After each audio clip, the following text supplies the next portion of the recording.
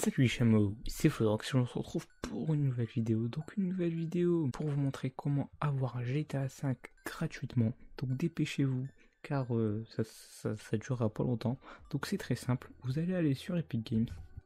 Et une fois que vous êtes sur Epic Games, vous aurez juste à vous connecter. Et ensuite, vous allez descendre un peu en bas. Et là, il y aura le GTA 5 qui sera en gros. Vous pouvez pas le louper, donc vous allez cliquer dessus. Et et là, donc, ce jeu comporte des contenus. Hein, pour ça, voilà, s'en fout. Et euh, ensuite, là, ça sera écrit télécharger. Vous aurez juste à télécharger et vous aurez GTA 5 gratuitement. Donc voilà, c'était un tuto très très très rapide pour vous montrer comment avoir GTA 5 gratuitement. Franchement, ça prend deux secondes et voilà, s'il est gratuit. Donc, euh, donc voilà. Donc, j'espère que ça vous a plu. N'hésitez pas à liker, à partager et à vous abonner. Et moi, je vous dis bye bye.